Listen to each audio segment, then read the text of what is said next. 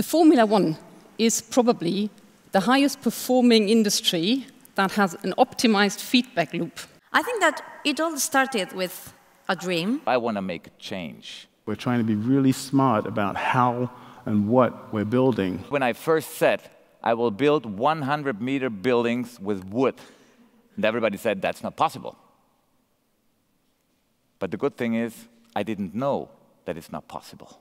The San Francisco shipyard is a place that people will live, place that people will work, place people will create. They will also entertain there. Thinking of all the costs, all the benefits of smart cities. They will be saving in the city, work from an ecosystem point of view. Just think of a pit stop and think of the teamwork, how they work together, how they all trust each other, how they know exactly what the other person is doing and doing when, because every second, every fraction of a second counts.